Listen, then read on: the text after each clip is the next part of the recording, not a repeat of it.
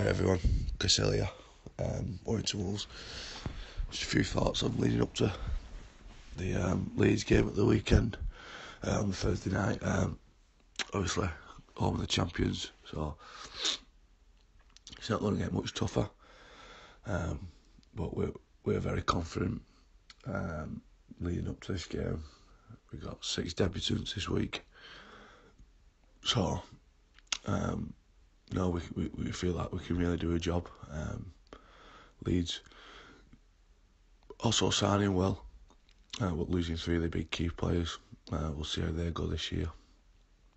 But no, it's going to be, be a good trip over to the Champions on Thursday night, and a uh, big thanks to the club for putting the free coach on, trying to get as many fans there as possible. So it's going to be a great atmosphere, and hope to see a lot of you over there.